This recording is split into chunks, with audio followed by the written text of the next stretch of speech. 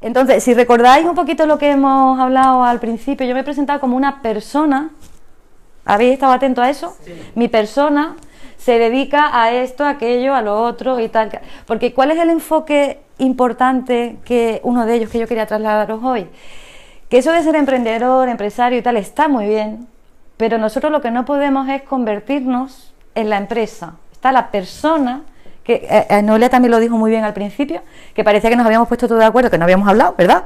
Eh, era, sea, un fallo que cometemos muchísimas personas, y yo lo digo desde la persona ahora, lo cometí en su momento, porque también os he dicho, me dediqué, soy empresaria, ¿vale? Sigo siendo empresaria, yo ese fallo lo cometí, es que mm, nos olvidamos de que en el mundo de los negocios la persona no se puede escindir de la actividad que está realizando, y mucho menos suplantarla.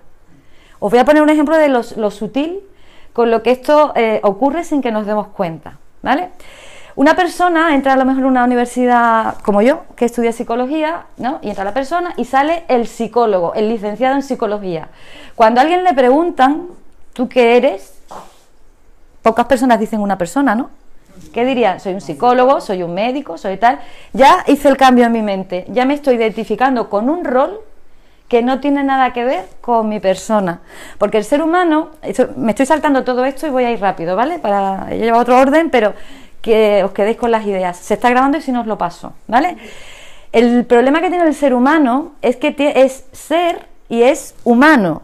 Pero cuando nos ponemos, en todas las parcelas de la vida, pero sobre todo cuando nos ponemos a trabajar, se nos olvida que somos ser, que es la parte interna nuestra de lo que ha estado hablando, por ejemplo, Sandra toda la mañana, que lo ha dicho al final, que si somos amor, que si somos energía, que si somos espíritu, que si somos tal, somos dones, somos capacidades, somos muchísimas más cosas desde el ser, que es la persona, por hacer la extrapolación, que desde lo que sería el humano, que es esa parte externa en el trabajo, esa profesión o esa empresa o ese personaje que yo me he forjado en lo externo. Yo me creo y me identifico que soy, con, que soy eso, pero nada más. Y eso de ahí fuera es muy limitante. Porque si yo, por ejemplo, estudio una carrera de psicología, pues yo me puedo creer guay y decir, es que como soy psicóloga soy algo, porque sé, tengo unos conocimientos de carrera, pero una persona que no haya estudiado, ya, ¿qué pasa? Que no es nada, porque no tiene estudio, ya no sirve, ya no puede trabajar, ya, no, ya, se está limitando. ¿Ves qué sutil es la, la cosita? Pues sutil. Pero es un gran problema, cuando nos olvidamos en el mundo de la empresa.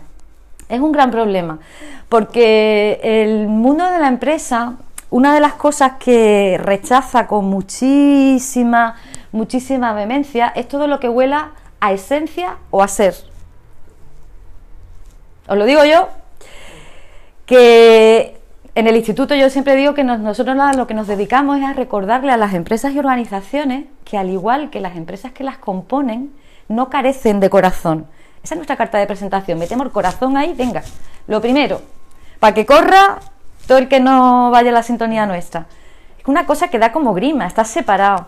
Porque el antiguo paradigma de los negocios nos ha hecho creer, nos ha hecho creer que hay que fragmentar todo, dividir todo, seccionarlo todo y que una cosa no tiene nada que ver con la otra, ¿vale? En el mundo de los negocios pongo primero el ejemplo, ¿no? Parece como que lo que hace un bombero, por ejemplo, pues no tiene nada que ver con lo que nos ha contado Sandra, con lo que puede hacer Paco, eras tú, con lo que hace Paco, con lo que quieras hacer tú. Como que son cosas, ¿no? Profesiones diferentes, actividades diferentes, no tiene nada que ver. Pero si uno lo observa desde el ser y desde la sutileza del ser, si lo observa bien, todos en todo momento están haciendo lo mismo. Se dediquen a lo que se dediquen. Porque todos lo que están haciendo es prestar un servicio que dentro de sus posibilidades mejore la sociedad en la que viven, ¿vale? O solucionen un problema o una necesidad de las personas. Es decir, el negocio de todas esas actividades siempre son las personas, también fuera. ¿eh? Importa mi persona, que soy la que genera el negocio, pero también son las personas fuera. ¿Lo veis? Están haciendo lo mismo. Pero ese paradigma empresarial desde el que venimos nos está haciendo creer todo lo contrario. ¿Vale? Eso por un lado. Eso es muy importante. Entonces, Tampoco nos damos cuenta de que todos estamos relacionados con todos porque eh, esa separación nos hace creer que lo que yo hago, si soy bombero, no tiene nada que ver con lo que haga el médico, pero vivimos en sociedad. Estamos todos interrelacionados con todos, ¿cierto o no? Lo que yo haga, aunque no me lo crea, si yo por ejemplo este sábado me voy al campo y paso del ecosistema y tiro las bolsas de las chuches de mi hija y tal, porque no me ve nadie, porque estoy aquí sola y porque da igual, eso está repercutiendo en el ecosistema de todo el mundo, ya por ponernos así muy cuánticos de todo el planeta. Porque nos cargamos la, capa de ozono, todas estas cosas, ¿no? Entonces, en el mundo de los negocios se nos ha olvidado eso y solo nos ha olvidado en esa disgregación hemos roto el ser humano y hemos dejado al ser por un lado y al humano por otro. Y hemos entendido mal, bajo mi punto de vista, sufrido, ¿eh? no es opinión teórica, sino que lo he vivido en mi persona como empresaria, igual que le pasó a Paco en su momento. El haber cogido ese camino me llevó a un sitio del que tuve que regresar como pude, ¿vale? reconstruirme. Por eso lo sé, que es así, igual que ¿no? como lo vimos en la experiencia. ¿no? Bueno, pues, ¿qué es lo que ha pasado con ese, con ese camino? Que como el ser es la esencia, es la parte nuestra espiritual, es ese corazón, es ese que tiene que crecer interiormente para desarrollarse, ¿verdad? Y yo lo niego, una cosa es el crecimiento interior o personal o la persona y otra cosa muy diferente son los negocios. No tienen nada que ver una cosa con otra. Y sí que la tienen porque cuando nosotros empezamos a, a emprender, el emprendedor, por así decirlo, es como la primera persona, la primera persona que tiene una idea, que tiene una inquietud, que tiene un anhelo, que tiene un sueño y que lo quiere plasmar en una realidad. Y esa idea, para empezar, es intangible, Está en su imaginación. Todavía no la ha plasmado, no existe, no es real. ¿Vale? Pues decimos, perseguimos un sueño, una quimera. Entonces, esa persona, el primer lugar donde tiene que buscar la manera de hacer las cosas, como bien decía, que por eso me gusta todo el eslogan, es la cabeza, es en la mente. Es en la mente. ¿Vale? Entonces, ¿por qué yo decía antes lo del viejo paradigma? El viejo paradigma es importante mencionarlo porque el viejo paradigma que nos ha hecho creer todas esas cosas, para empezar ya no se sostiene. Por eso tenemos las crisis que tenemos, económicas, de valores, todo lo que nos está pasando como sociedad ahora mismo, es precisamente porque esa idea no funciona. El ser humano es ser y humano. Lo personal y lo laboral no se pueden separar. En el mundo de la empresa, muchísimo menos, como ahora avanzaré un poquito más. Entonces, como esto es así, si yo intento buscar soluciones al problema que yo me he encontrado cuando me he olvidado de ser persona en mi actividad, yo voy a encontrarlas. Por eso las crisis se repiten cada X años. Conseguimos más o menos eh, eh, parsear, parsear un poquito, nos dan dinero de aquí, ¿verdad? parseamos, pero al final se acaban repitiendo. ¿Por qué? Porque siempre buscamos las soluciones desde la misma mentalidad que la creó. Entonces eso no vale. ¿Qué sería una empresa con esencia? Yo he puesto lo de esencia un poquito jugando con el juego de que lleva la cosa, aceites esenciales, porque además yo soy muy poca amiga de los eufemismos, que se suelen utilizar mucho. A mí me los han aconsejado en la, actitud en la actividad del, instituto este de emprendimiento. Os voy a contar una anécdota muy rápida porque es que me, hizo mucha gracia. Eh, eh, arrancó en noviembre del año pasado, fue cuando yo hice la presentación oficial de esta entidad en Madrid. Y yo hablé con un tutor que yo había tenido muy bueno de la EOI, eh, que él mm, mis locas ideas siempre las apoyó, decía que era muy creativa, que era ¿no? Entonces me importaba mucho su consejo y se lo expliqué, ¿no? Lo invité y tal, y me decía, está todo perfecto, pero yo te daría un consejo, no le pongas la coletilla de consciente. Di que es emprendimiento sostenible, usa ese eufemismo, porque si no, el colectivo empresarial, por aquello de que se te está viendo el primero, de que estás uniendo lo personal con lo empresarial, que estás hablando de esencia, que estás hablando de alma, que estás hablando a fin de cuentas de nuestra parte espiritual, se va a poner a la defensiva y lo va a rechazar. Y yo dije, ya, yo lo soy consciente de eso. Ahora hablaremos de, cómo eso afecta en el mundo de los negocios. Pero si yo empiezo ya a ponerme máscara, a no ser fiel ni coherente a mi objetivo, ya estoy empezando como al pie, ¿no? Ya me estoy dejando yo rebotar en el antiguo paradigma. Ya me entra el miedo. Ya pierdo mi esencia. Pierdo mi autenticidad. ¿Dónde voy yo a representar a una institución haciendo eso? ¿Lo veis? Entonces, ¿qué es lo que pasa? Las empresas conscientes, o sea, las empresas eh, con esencia, he usado ese, ese término, que es lo que quería decir, porque es un buen sinónimo de lo que nosotros estamos en el instituto, que es ni más ni menos que conciencia. ¿Vale? Esa parte, nuestra esencial, es nuestra conciencia como seres humanos. Y esa, eh, cuando hablamos del nuevo paradigma, la nueva era, que ya se está empezando a hablar, ¿eh? porque aquí nadie es tonto, cuando se empiezan a utilizar estrategias que no funcionan, tú dices, tengo que buscar por otro sitio, decimos lo nuevo, lo nuevo. Todo el mundo le tiene mucho miedo a lo nuevo. Pero ya empiezan algunos avispados a hablar de lo nuevo, que si la inteligencia emocional, fue donde nosotros nos conocimos, Salva, ¿te acuerdas? Hablando de la, que si la inteligencia, eh, la inteligencia emocional, cuando hablamos de unir otra vez los factores humanos, a la empresa, ¿a qué parece que estamos aludiendo? A eso, a tú que eras de selección de personal, que si nuevos estilos de liderazgo, que si currículum por competencias, es la misma, el mismo perro con el mismo collar, porque mientras que uno no se sacuda la creencia que dividió a ese ser y a ese humano, que puso una barrera casi irreconciliable entre lo personal y lo laboral, estamos cayendo en el mismo paradigma, no avanzamos. ¿Estamos de acuerdo? ¿Vale? Entonces, ¿cómo se cambia un paradigma? ¿Cómo se cambia? Muy fácil, porque eso es lo que nosotros intentamos hacer. O sea, siempre decimos, mira, de todos los factores humanos que tú tienes que meter en la empresa, el más clave, el más importante es la conciencia. Eso es lo que tú tienes que hacer. Hacer a la gente consciente de todas estas historias que estamos hablando muy rápido hoy, ¿vale? Ahora mismo para porque no me da más tiempo. Haz consciente a la gente de eso. ¿Para qué? Para que retome su posición dentro de la empresa. Porque si yo me creo desde el antiguo paradigma que yo como persona me encontraré bien cuando triunfe con mi negocio, ¿eso no suena? ¿Hay mucha gente que lo cree? Yo estoy hecho un polvo, me va mal, yo no tengo unos problemas personales de salud y tal, pero cuando yo triunfe con mi negocio, como voy a tener dinero, voy a tener estabilidad, voy a tener no sé qué, ¿verdad? Mentira. Es al revés. Yo tengo que estar bien en mi centro, en mi equilibrio, tener las cosas claras, saber dónde voy, haberme sacudido todas las creencias que me limitan, las que son buenas y me empoderan, déjalas ahí. Porque pasa, bueno, todo lo del antiguo paradigma no es malo. Lo que me sirve, yo lo utilizo en la empresa.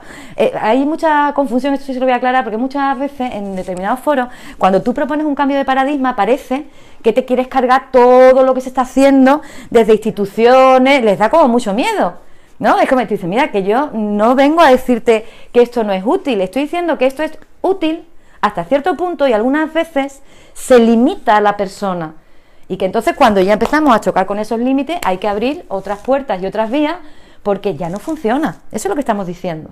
Pero hay una serie de procesos que evidentemente hay que seguir dentro de un negocio. Pero ese primer punto cero de qué es más importante, el negocio yo, quién crea a quién, quién es el autor y quién es la obra, eso hay que tenerlo muy claro. Y eso lo digo yo que ando con emprendedores y he sido empresaria y me mantengo en contacto con muchísimos eh, empresarios y demás, es un puntito que tiene la gente totalmente al revés, ¿eh? Totalmente al revés. O sea, primera cosa que te decía, si te voy a cambiar una idea nada más, pues primera cosa que hay que cambiar, eso. Yo, soy de verdad, depende de mí, porque ninguna empresa, ya lo digo yo, ¿eh? y me juego un brazo y no lo pierdo, va a conseguir el logro que una persona en su vida a nivel personal consiga antes. Eso es imposible. Porque el universo no funciona así. La energía responde a lo que es similar.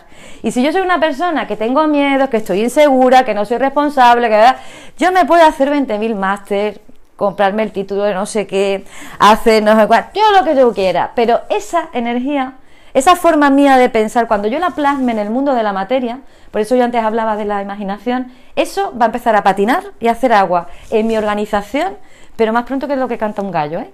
Puedo tardar un poquito más, un poquito menos, aunque me pillen, pero al final me pilla. La vida me pilla, ¿eh? Entonces, ¿por qué pasa eso? Porque, ya os digo, cualquier empresa es el fiel reflejo de la mentalidad que tiene el emprendedor que la diseña, que es el autor de la obra que crea, que es la empresa. ¿Me seguí? Porque voy muy rápido, ¿eh? Pero yo soy obediente, ¿verdad? Voy rápido, voy rápido. Voy muy rápido, pero se sigue, ¿no? ¿Estáis viendo? Más claro, que el agua, por eso digo yo los eufemismos no los suelo usar, por eso me busco tantos enemigos en tantos sitios, pero me da igual. Porque yo ya no estoy en el paradigma de la antigua época. Yo cuando me dije, me voy a la nueva era y yo voy a poner todo lo que yo pueda de mi parte para que otro ser humano no pase por lo que yo pasé, lo hice muy comprometida y yo me voy a donde tenga que ir y lo hago. Y tú lo sabes que nos conocimos en la casa del empresario, en la casa de los empresarios me metí yo a una conferencia de estas con, ¿te acuerdas allí, sentados en primera fila, que se revolvían cuando yo hablaba? estaban ahí un poco nerviosos como diciendo, ¿dónde va esta hablando aquí de esencia de corazón? Ah, ¿Qué dice? Pues digo lo que he vivido. Y, no lo que he vivido, lo que he experimentado, lo que he comprobado, porque es que lo peor de todo es que es verdad. ¿Es verdad o no es verdad? Que cuando uno se recompone, cuando uno se pone, es cuando empieza todo a alinearse y uno empieza a fluir. Cuando todo fluye. Pero mientras... Que tu empresa eres lo que tú eres. Claro, es que es lo que tú eres. Mira, a mí me ha gustado mucho que Sandra me invitara, primero porque le tengo un gran cariño y tal, tenemos mucha afinidad y todo esto, pero es cierto que su, la idea de negocio que ella está explicando eh, realmente encarna lo que es una empresa con esencia, una empresa con conciencia, una compañía, totalmente, ¿no? Porque eh, una de las máximas del emprendedor que es consciente es que tiene como persona que formarse, ya habéis visto el Bademecum, el no sé cuánto, que sí esto, que sí la medicina china. Ella, a pesar de formar parte de una organización, ¿vale? No deja de cuidarse como persona. Ella crece, avanza, se supera, se tal. Y entonces cuando ella tiene ese estado interno es cuando lo puede compartir, cuando ella puede expresarlo. Ella brilla, se convierte en el sol de su propio negocio. ¿Y el sol sobre qué gira? Sobre sí mismo. No es un satélite como la luna que va alrededor de tal que depende de. ¿Entiendes? Entonces, cuando yo tengo esa mentalidad, te voy a coger de ejemplo, no te importa, ¿no? De lo de diploma. No, no lo del diploma. Cuando yo tengo esa mentalidad de que lo externo a mí me domina, a mí la vida me para. Porque te digo porque el discurso que tú antes decías, y que no es. ¿Vale? Tú decías, es que la crisis, es que esto, es que lo otro. Eso es verdad que está ahí. Sí, sí, sí, sí. Eso es verdad que está ahí, ¿vale? Hablamos, ¿vale, corazón? Un placer. Lo mismo digo. Perdona, no, no, no, tranquilo, tranquilo, tranquilo. Gracias. Si voy a acabar dentro de nada. Que no es, que todo eso es verdad, que todo eso es verdad. Pero ¿qué es lo que pasa? Que si yo todo eso me lo dejo aquí en la mente y me conformo, voy a ser más bruta. Que tú te queda. Ahí te pudras, porque es que es que no, es que no, no sales de ahí. No sales de ahí. Porque una más que a mí también me gusta mucho esta asociación, me encantó también de esto porque es imparables. Es que, es, o sea, el que, el que está vibrando en el corazón, el que está en su esencia, ya se le puede poner, yo qué sé, el mundo del revés, que ese es imparable. Ese tiene claro, o sea, el no no existe para él yo tengo que crear esta realidad, yo tengo tal, y además no es ya cabezonería, es que yo tengo los medios, es que los tengo, porque mi energía me va a llevar hasta ahí. Ahora eso sí, yo tengo que ser firme en mi compromiso, tengo que ser imparable. A mí no me puede venir al mercado a decirme, o un banco que no me da una financiación, y yo ya quedarme quieto, es que no me da el banco. El... Yo tengo un amigo que es cineasta, os voy a contar también esta anécdota que, porque es que de verdad que son reales y inspiran, ¿eh? y es lo que inspira. Yo tengo un amigo que es cineasta, Ahora está empezando a ser más conocido, de hecho lo han llamado ya hasta para Hollywood. Al final, eh, la historia al final de la película es hasta para Hollywood, hasta para Hollywood, ¿vale? Lo, se llama Ángel Gómez. Nosotros teníamos, eh, a este hombre yo lo conozco más de, o sea, más de refilón, pero sí teníamos un muy buen amigo común, que era mi estilista, era mi peluquero, mi maquillador, mi que falleció hace unos años. ¿vale? Muy joven, de un cáncer que nadie esperaba. Entonces, éramos amigos comunes. Este chico estaba grabando una, el director unas películas y demás. Eh, él entró como estilista, le gustaba, le dio la oportunidad de empezar a hacer las primeras cositas en el cine, el otro que se ven arriba. Cuando están así, va, nos entra, le entra un cáncer a Benjamín que se llama y se nos muere. Nos quedamos todos que no nos lo esperamos. El cineasta, que estaba ya escribiendo el, el guion de otra película y demás, en aquel momento, que además iba a contar con él, se le ocurre decir que iba a hacer esa película y que además la iba a hacer en memoria del amigo fallecido. Y le empieza la crisis. Ahora no hay dinero, ni para, y más, uno que está empezando, que es de Algeciras, que no hay más.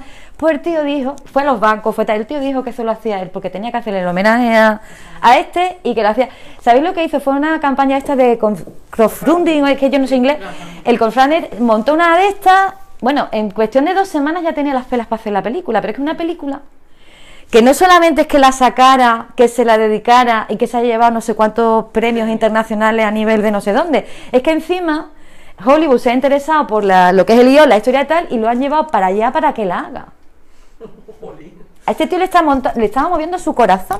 Y os juro que es verdad, que lo vais a ver, ¿eh? que lo vais a ver en la, en la se llamaba, es que, es que el inglés, el inglés, os lo paso, porque es una palabra en inglés y yo como no sé inglés, pero os lo paso, ¿vale? Porque lo podéis buscar el corto, que además veréis que es cierto, quién es esta persona, en la de estas veréis que se le menciona en la presentación que hizo en Madrid. Muy elevado, es que era desde el alma, ¿entiendes? Porque a ti te está moviendo el objetivo final. Es que a ti te tiene que mover tu objetivo final, ¿entiendes? Y, y a este también le dijeron que no doy dinero para que él hiciera la película, y la consiguió hacer. Entonces, si yo voy con esa mentalidad desde mi ser, de decir, es que a mí esto de verdad que es lo que me vibra, yo estoy preparada, además, este hace su pasión, eh, eh, hace película porque es, como te pasa a ti, lo que sabe hacer, no quiere hacer otra cosa. Entonces, ¿yo por qué no voy a hacer? Porque el mercado diga, porque una nueva ley me diga, porque la creencia, la religión me diga, Porque estoy en la punta de España. porque estoy en la punta de España. Porque soy madre y me, yo, mi hija, una verdad que he formado yo para dejarla hoy cubierta para venir, pero a mí eso me puede limitar. El golpe que me da a mí el coche me puede limitar. O es que me han dado un golpe y ya no puedo yo hablar. No, hombre, ¿lo veis? No me puede limitar. Entonces, ¿cómo me salgo de un paradigma? Para empezar dándome cuenta de que estoy dentro de él, porque la ley básica de todos los paradigmas es que el que está dentro nunca lo ve da como dogma de fe y realidad absoluta lo que se cree en su cabeza que es la vida, porque nos lo han inculcado así, ¿vale? Entonces, primero, darme cuenta de que estoy gobernado por una serie de paradigmas, que ahora os voy a decir los cuatro básicos que hay ahora, para que los identifiquéis con su verbo, para que los identifiquéis si queréis, ¿vale? Los cuatro más básicos en líneas generales. Primero, darme cuenta de eso, luego ver cada uno de esos paradigmas, qué sistemas de creencias limitantes tiene cada uno, que también más o menos van por ahí la cosa, ¿vale? Y a partir de ahí, si yo estoy comprometido con salirme de ahí, lo cambio. Si yo me doy cuenta que me estoy dejando llevar por el miedo a la toma de decisiones, pues yo digo, que ella, yo, mi objetivo cuál es? ¿Aquí quién manda? ¿El mercado o yo? Y le doy la vuelta. Eso es lo primero que tengo que hacer, ¿no? Entonces, ¿Tenéis más o menos idea de cuáles pueden ser esos cuatro pilares sobre los que los paradi o sea, el paradigma actual se sostiene y nos tiene a todos tan asustados? Empresarios o personas, ¿eh? me da ya igual, porque es extensible a todo. ¿Tenéis idea? ¿Cuál es el paradigma por excelencia? El primero, el, el más... tú- tú más o menos sabrás cuál es, ¿no? Claro, yo juego con ventaja, yo me callo. Tú juegas, ¿no? La ciencia, señores. La ciencia. Lo que dice la ciencia no es ley. Otro de los ejemplos por los que Sandra es muy. Me gustaba a mí lo del el tema este de la esencia, hacerle allá de puente y tal. Sandra está siendo muy valiente. Porque ¿qué es lo que dice la ciencia a día de hoy de todo esto? Que si esto es mm, alternativo, pero que te están engañando, que si somos vende humo. Yo me meto también porque como yo soy terapeuta holística, ¿vale? Y también trabajo con las terapias, porque nos han metido a todo el mundo, ¿eh? Yo que tengo un doctorado en psicología, pero me han colado ahí también. Que no es por decir que yo soy más que soy menos, pero que me colaron también ahí, ¿vale? Simplemente por hablar de emociones, ¿eh? Cuidado. Ya no de física cuántica, que también hablo en alguna de mis conferencias. Simplemente por hablar como psicóloga, ¿eh? Que se supone que tengo una carrera, que desde el paradigma antiguo, no me dejan hablar de las emociones. No me dejan de hablar cómo la emoción tiene que ver con muchísimas cosas, por ejemplo, en el ámbito laboral, que yo hice una investigación, publiqué un libro de ese tema, y además me recomendaron que no lo publicara. Mis colegas me decían, tú estás loca, ¿cómo va a publicar eso? Tal y cual ahora, ¿cómo está el patio? que están intentando la pseudociencia? Digo, ¿cómo pseudociencia? Eso de, ¿qué me estáis contando, ¿no? Entonces, la ciencia es el primer paradigma con el que tenemos nosotros que enfrentarnos, ¿vale? Lo tenemos metido en la médula y personas o compañías como por ejemplo la de Sandra son muy valientes y están apostando por la esencia, en los dos sentidos, por la suya y la de su producto, porque no se dejan amedrentar, no se dejan amedrentar, ¿vale? Y siguen para adelante porque saben que son buenos, son productos que pueden dar un buen servicio y todas esas cosas. ¿Cuál sería el verbo que rige ese paradigma primero científico? El verbo saber. Es el que condiciona lo que yo sé o lo que yo no sé. Lo que le pasaba a este señor que se ha ido, Paco se llamaba, ¿no? Él ha contado, ha puesto un ejemplo muy bueno. Si yo no tengo carrera, no tengo estudio, tal, yo no sé. Y como yo no sé, yo no puedo hacer esto. Lo que te pasaba a ti con el de este, como no tengo todavía el diploma, bla, bla, bla, pero vamos a ver, tú vas a por el diploma porque sabes que eres buena en eso. Es lo que te gusta, todo el mundo te consulta, bla, bla, entonces ya lo sabes. Puedes hacer, el papel es de menos. El papel es el antiguo paradigma. El diploma es para, para eso. Para el antiguo paradigma. Pero tú puedes, claro, pero tú no te puedes parar por eso. No, no. Tú puedes coger el papel, está bien que lo cojas porque en algunos sitios te va a hacer falta, pero tú entre medias no te paras, como te decía Noelia antes. ¿Vale? Ese es el paradigma, lo que yo sé y lo que yo no sé. O lo que es peor, lo que me dejan saber o lo que me imponen como que no puedo saber. Hay que ser muy rebelde ahí, ¿eh? Nosotras dos somos rebeldes. Por las cosas, ya va bastante rebelde que le hemos salido a- al paradigma científico, pero la gente, ¿vale? Se para ahí, se para ahí, no puede ser. Y en una empresa, se comete también un error cuando eres empresario, porque tú te piensas, imagínate que tú vas a montar una galería de arte que tú tienes que saber pintar cuadros. Y una empresa no es eso. Tú podrás pintar cuadros, pero tendrás que saber de marketing, de comunicación, de no sé qué, de no sé cuánto.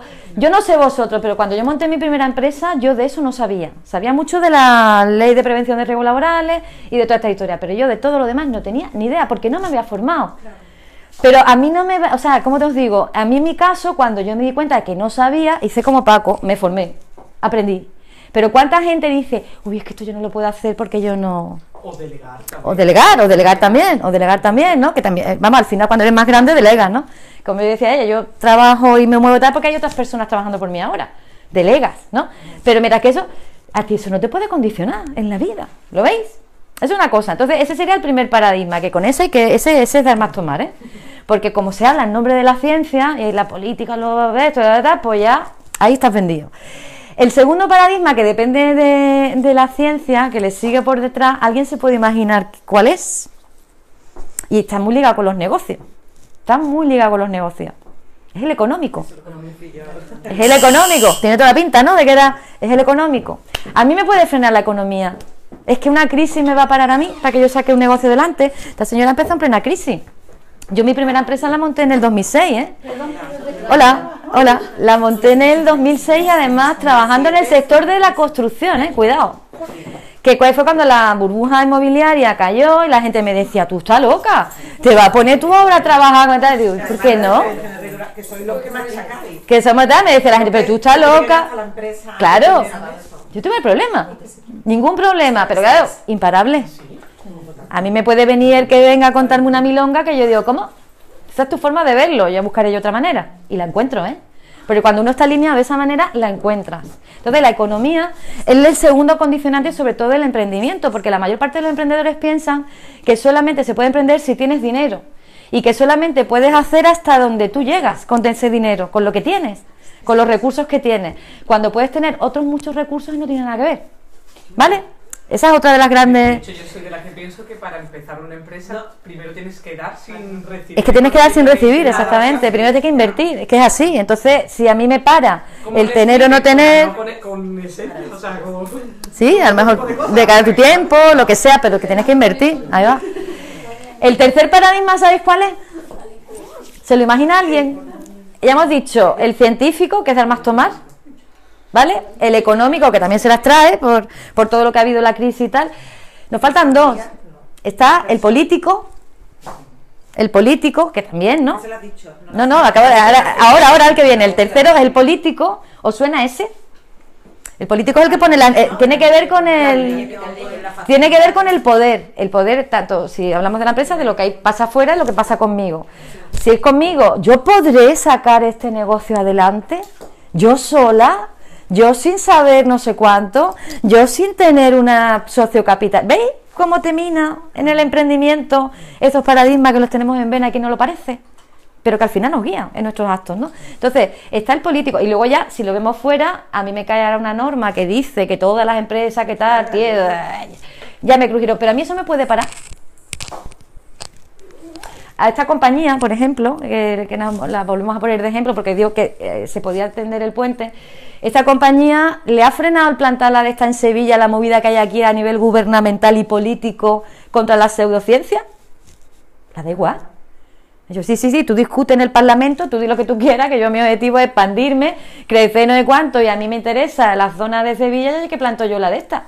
A ver quién me lo impide a mí, y la he plantado aquí, me lo ha enseñado a ver. farmacéuticas que se han metido Exactamente. denuncias y nunca han podido. Es que, eso, es que ese es un tema que se debería de hablar porque ya lo hablamos en su día, es un lobby. El, el negocio ya no es la salud, como ella propone. El negocio para el sistema antiguo es la enfermedad.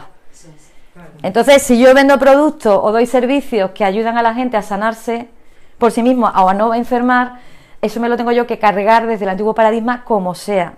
Pero claro, puede ser que el que sea se rinda la primera, te salga un imparable, que diga, bueno, si hay que morir, moriré con las botas puestas. Y puede ser que me mate, pero con las botas puestas. O puede ser que no me mate. ¿Vale? Entonces, así es como hay que ir pensando, ¿no? Entonces tendríamos el paradigma político, que condiciona también muchísimo, ¿vale? Y sobre todo, lo que yo considero que puedo o no puedo hacer. Y desde donde yo me juzgo, porque es que esto no es políticamente correcto decirlo. El ejemplo que yo os ponía antes. Uy, yo cómo voy a ir a no sé dónde, voy a decir estas ideas, me van a tomar por loca. Bueno, tú dilo, que te toman por loca, bueno, que te toman por loca, pero tú ya lo has dicho, tu función ya la has cumplido. Has sido coherente con tu objetivo. Que lo quiera recoger, que lo recoja y el que no, pues no pasa nada. Pero tú has hecho lo que tenías que hacer, ¿vale? Y ya nos quedaría el cuarto paradigma. ¿Que a alguien se le ocurre cuál es? Que este también es el más tomar. Social. Que este es como dice, no, el religioso. Ah. Con la iglesia hemos topado.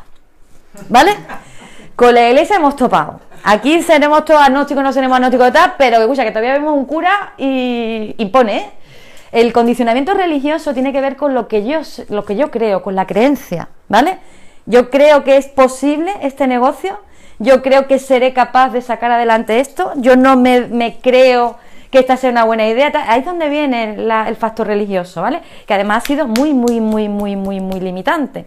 Entonces, esos cuatro paradigmas unidos en nuestra cabecita, montando o armando creencias limitantes de todos los colores, según los verbos que van definiendo a cada uno de esos paradigmas, imaginaros en el emprendimiento y en la persona, que son sinónimos, las dos caras de la misma moneda, si la empresa va mal es que la persona está mal y si la persona está bien, la empresa irá bien, imaginaros lo que se puede formar ahí. Y luego encima diremos qué mala que es la vida y qué mal, ¿no? Que es que el mundo, claro, como vino la crisis, a mí me fue mal. Pero fue por la crisis, ¿eh? No porque yo internamente y a nivel de mente, por así decirlo, no subiera en donde tenía la cabeza, ¿vale? Entonces, eso es lo que, lo que yo quería un poco transmitiros hoy. Y mira, si me permitís que acabe con un, un ejemplo que yo suelo poner, que es muy absurdo, pero por lo de eso que es, la gente se lo queda porque tiene una gran metáfora. Tiene una gran metáfora. Voy a decir, ¿vale? El ejemplo este. veréis, veréis la cosa. Eh, Vosotros sabéis cuál es, en mi opinión, uno de los mejores empresarios que ha existido en todos los tiempos y que ha demostrado que todo esto que yo he contado de los paradigmas, de la vuelta atrás, es verdad. ¿Sabéis quién es? ¿A ¿Alguien se le ocurre? ¿A ti se te ocurre?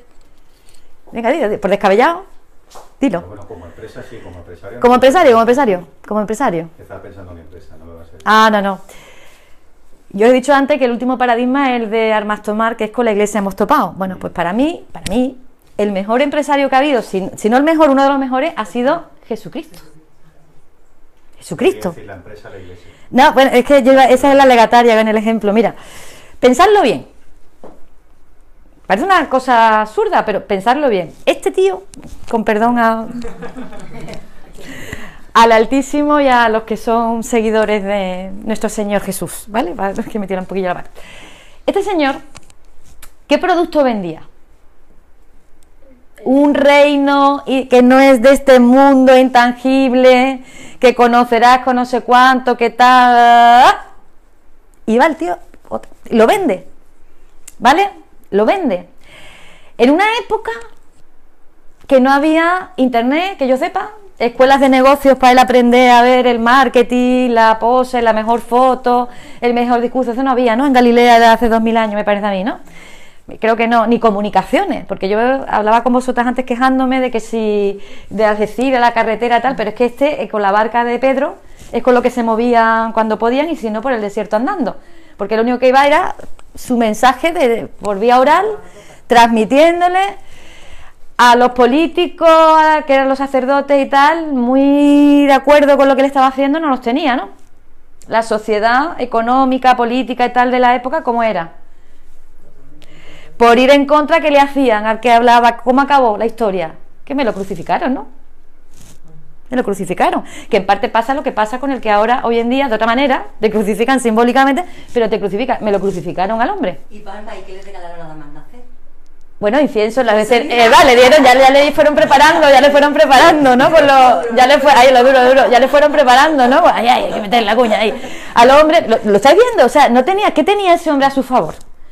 Su gran confianza en sí mismo, era lo único, era su persona. Más esencia, imposible. Porque además le estaba diciendo que me da igual que me crucifiquen porque yo soy espíritu. No lo decía así de vacileta, ¿eh? Digo yo.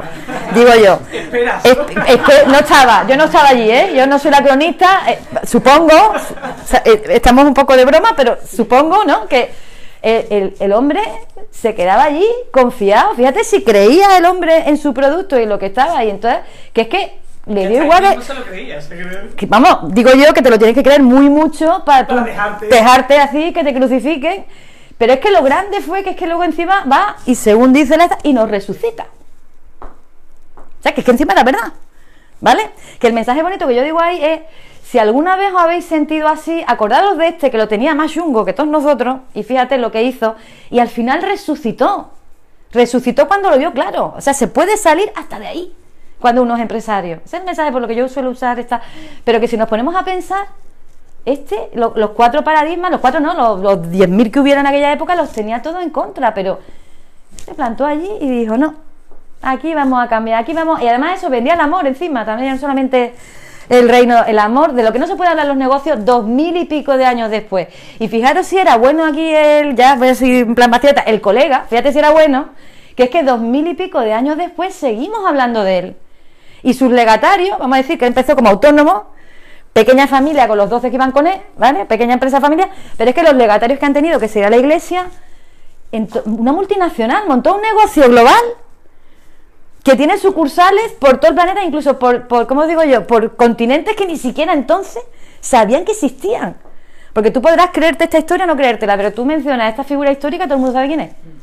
Y rara es el país donde no hay una iglesia, dos mil y pico de años después. ¿Era bueno? El hombre no era bueno. ¿Qué hizo?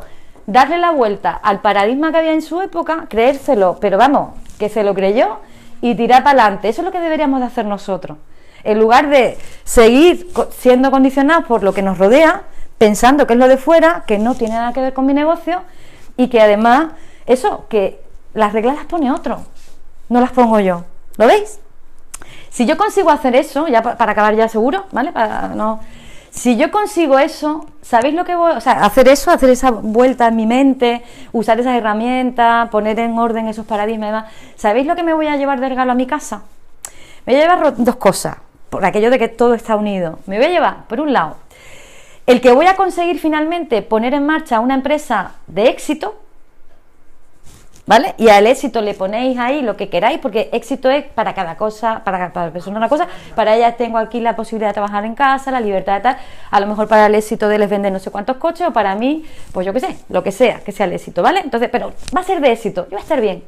Pero es que voy a conseguirlo, además, habiendo adquirido una conciencia que ha sido la que me ha llevado a poder trascender a mi ego, que era el único límite que yo tenía a nivel personal, para poder crear esa empresa. Me voy a llevar las dos cosas, esas dos victorias.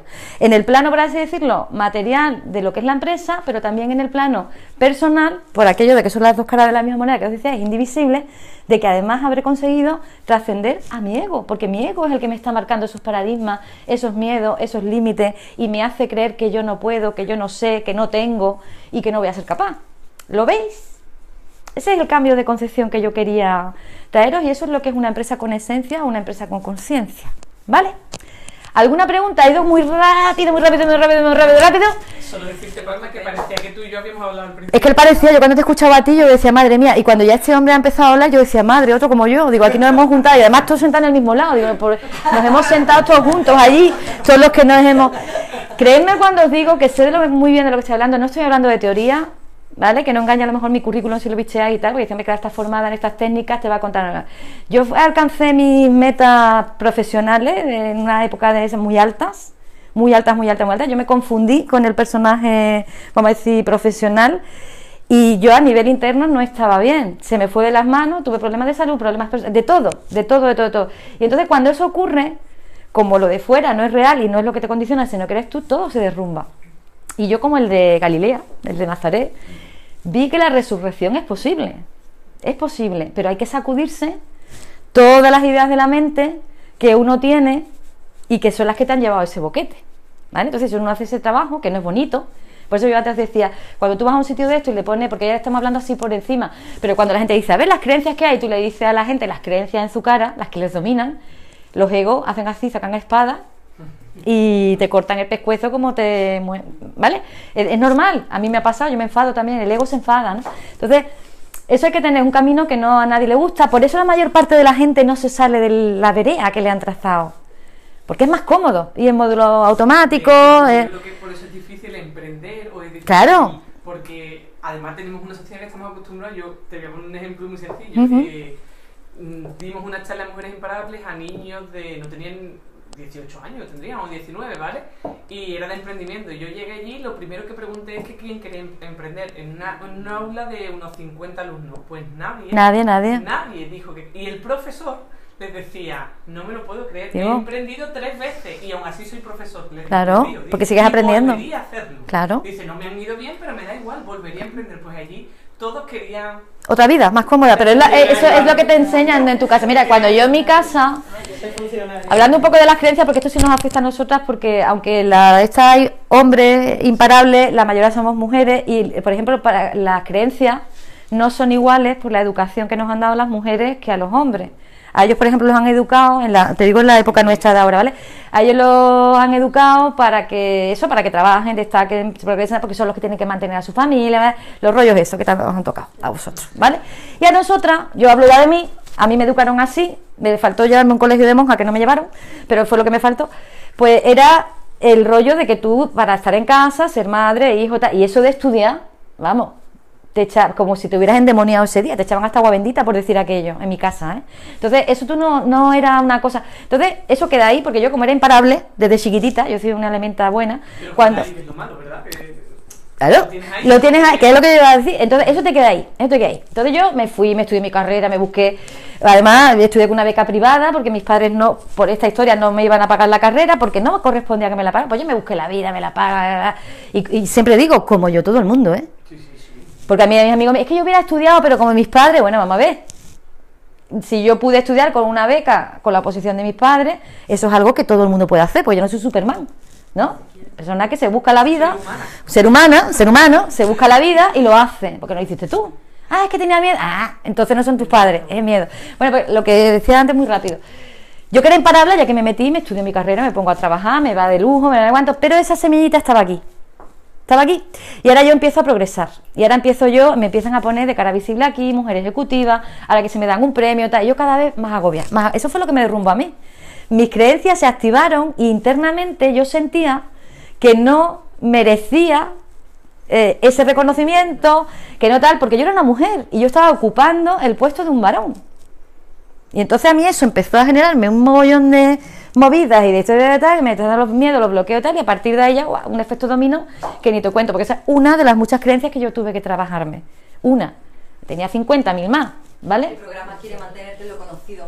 Se quiere mantenerlo conocido. Entonces las mujeres tenemos un hándicap, además en los negocios, adicional, porque además luego somos las madres, eh, luego que si los niños tienen que estar con las madres, que si eres mala madre porque estás dejando a tu hijo por trabajar de cuánto, que es el chantaje emocional del niño, carga mental. la carga mental que tenemos. Entonces nosotras tenemos ahí un hándicap que es bastante más fuerte en, en cuanto al cambio de paradigma. Como el quinto paradigma. Eh, claro, claro. Bueno, se podría poner. Y es más, os digo, incluso tenemos otro paradigma, o sea, otro, otros hándicaps de más, que cuando empezamos nosotras a emprender, una mujer que emprenda una actividad, vamos a decir, de hombres, también te estoy- eh, Yo es que, como he sido tan kamikaze, a mí me han caído por todos lados, porque yo, por ejemplo, la actividad mía de auditorías y demás, yo diseñé un sistema que eran, fue pionero en todos los puertos del Estado. Y, y era auditorías navales en barco, era éramos las primeras mujeres que nos subíamos mitad del estrecho a un barco, allí a hacer tal, y no veas la de crítica, porque estamos haciendo un trabajo de hombres y llega un momento en el que tú dices, "Uf, parece que es que tienes que montar una mercería, o tienes que, yo qué sé, o que cuidar la- las cosas que socialmente se dicen que sí se pueden hacer, que no son ni mejores ni peores, eh, cuidado, toda es la que te llame tu vocación, pero que oye, que elijas, que no te condicione el género. Entonces nosotros tenemos ahí un montón de estigmas, un montón de cosas, un montón, que eso es lo que yo os invitaría a revisar si de verdad queréis alinearos con la energía de vuestros negocios y que fluyan bien. Primero darme cuenta de que el que manda en mi negocio soy yo, es la persona. La primera que tiene que estar bien soy yo, sea hombre o sea mujer. Y luego ya buscamos cambios fuera. Eso para empezar. A mí no lo de fuera, esos paradigmas no me pueden condicionar, porque eso es paradigma de fuera. ¿Eh? Eh, eh, son los, límites que marca el paradigma. Pero si yo me pongo a pensar con esta, como decía este hombre, con la cabeza, y uso conciencia y me guía esa energía expansiva, que es la que de verdad va a encontrar el camino, yo el camino lo voy a encontrar, sin ningún tipo de problema, sin ningún tipo de duda, ¿eh? sin ningún tipo de duda. Las personas que hemos transitado por ahí lo sabemos que es verdad. Y a eso es lo que yo os animaría a que hicierais. Más que decir, voy a hacer un curso de no sé qué, voy a hacer un curso de no sé cuánto, o voy a ver cómo expando aquí. No. Primero arréglate tú, tú por dentro, brilla tú, ¿vale? Porque ese, esa, lo que ha hecho ella, ya se le veía, que es que le gusta, es que le gusta. Lo, lo... Pero si ella, por ejemplo, fuera una persona que hiciera ese trabajo por necesidad, cuando se hubiera puesto aquí hubiera cambiado muchísimo la cosa. Hubiera estado aquí nerviosa, muy rápido, intentando acabar pronto, titubeando, porque, porque no, le, no le sale. Pero a la persona que le sale, le sale. Entonces, buscarla. Y, y eso, y cuando ya tengáis ese trabajo depurado, de, de- de depuración, como, a- como aquel señor del fondo, don Salvador, buscad vuestra pasión, ver qué, qué dones o qué habilidades de verdad están alineadas y hazlo, y hazlo, porque realmente si quieres puedes hacer de esa pasión tuya un medio de vida. Porque una de las cosas que te dice el paradigma es que eso es imposible. Eso es imposible. ¿Vale? Eso es imposible.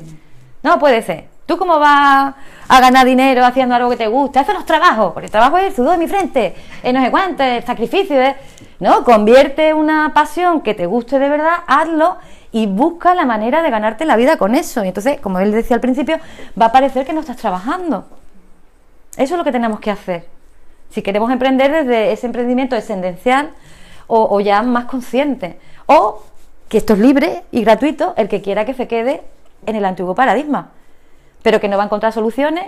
Y yo ya me he vuelto así un poquillo más de eso y yo digo, pero que luego no se queje. ¿eh? O por lo menos que a mí, a mí, A mí no- a mí no. A mí no me, que no me venga a mí a contarme porque entonces, eh, porque la- el camino, eh, o este camino o este camino. Tú lo eliges, es verdad que tenemos libre albedrío en ese sentido. Pero una vez que elegimos, tanto para una cosa como para la otra, vamos a ser consecuentes. Que me quedo aquí, en el infierno. Que quiero tal, y ya por acordarnos de, de Galilea, dos mil años después que sigan hablando de mí porque fui capaz de hacer lo que nadie hizo, cojo por este camino, si ese es mi objetivo. A lo mejor con que te recuerden solamente en el barrio ya vale, ¿no? Pero depende de, lo, depende de lo ambicioso que tú seas, ¿no? Pero que bueno, ese era el mensaje que yo quería, bueno, esa era parte del mensaje, yo iba a contar otras cosas, pero por ir muy rápido, que no sé el tiempo que he tardado, por cumplir con los tiempos, he ido muy rápido, muy rápido y sintetiza muchísimo, ¿vale? ¿Alguna duda o algo? ¿Todo medidamente claro? Demasiado claro, ¿verdad? Adecuadamente Claro. A mí es que Dios me metió así en un cuerpo inocente, así como que me tal, porque él sabía muy bien lo que hacía. Diría, esta es un arma de destrucción masiva, como le pongamos así en un... Mejor las metemos ahí que parezca y que suelte, ¿no? Pues muchísimas gracias por vuestra atención, ¿vale? Venga, hasta ahora.